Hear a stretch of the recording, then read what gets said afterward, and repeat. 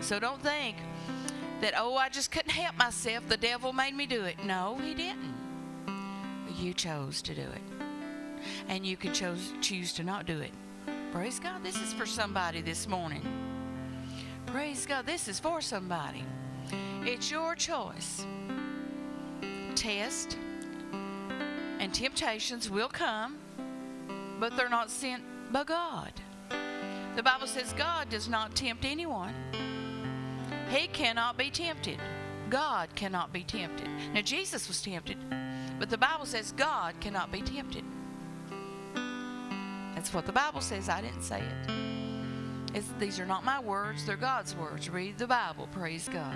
Jesus was tempted. God cannot be tempted. No, absolutely not. Praise God. But we can resist temptation. Amen. That is so good. I'm glad that we've got the power over all the power of the enemy. Jesus said we did. Said he gave it to us. Because greater is he that is in us than he that is in the world. See, there's a lot of things in the world, a lot of temptations out here. And you know what? But we don't have to submit to them temptations. We don't have to give in to them. Every day we have chances to get angry. We have chances to say things we shouldn't say. We have chances to do all kinds of things, ungodly things. Even the most holy saint of God, things comes to their mind ungodly things and bad things will come in your mind. But you know what? You don't have to act on them. You do not have to act on them. You can say, Lord, help me. And you know what? The Bible says, casting imaginations down. And anything that would exalt itself against the knowledge of God, cast it down and bring it into captivity, Paul said. Every thought, he said, every thought bring into captivity he said, All right, this thought is coming to my mind.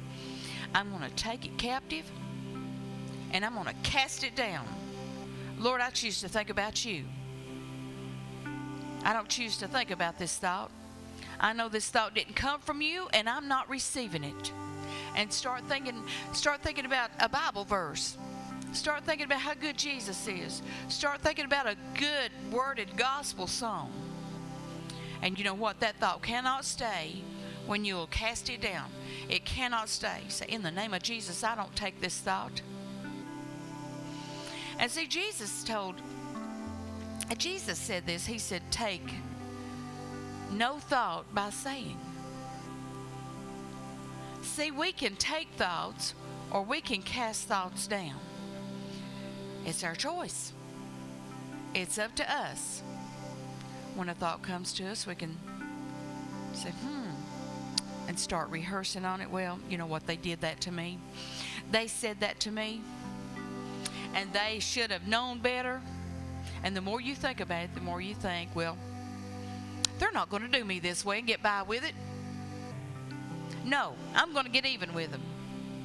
And so you've thought about that too long.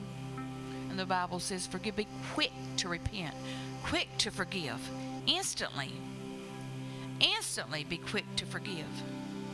And it reminds me of what Kathryn Kuhlman said one time. Kathryn Kuhlman was a mighty, mighty woman of God. So many miracles in her uh, healing conferences and, and revivals and meetings. Many moves of God. There's this reporter, she came into a town one time to have a meeting, a crusade. There's this reporter wrote all kinds of bad things about her, just dissing her and putting her down. And and then the next week, he called her up and wanted an interview with her. And some of her close associates said, Kathryn, you're not going to give him an interview, are you? After what all he's put in the paper about you and published and wrote this about you. And you know what she said? being the godly woman that she was, she said, Oh, she said, you know, she said, we're just going to pretend that that didn't happen. That is so good. That is so good. Choosing not to think about it. Choosing to just, you know, forget that it happened. Forgiven. My Lord, that falls into the love category. That falls into the love category. Choosing. You know what? The Bible says that love takes no account of the evil done to it. Love. The love of God in 1 Corinthians chapter 13. We call it the love chapter. In other words, love does not keep books. And you, you can take people that are arguing, and they'll bring up everything that someone's ever said or done to them. Yeah, everything, you know, in the past. well, you know, you said this to me or you did that to me. You shouldn't have done it.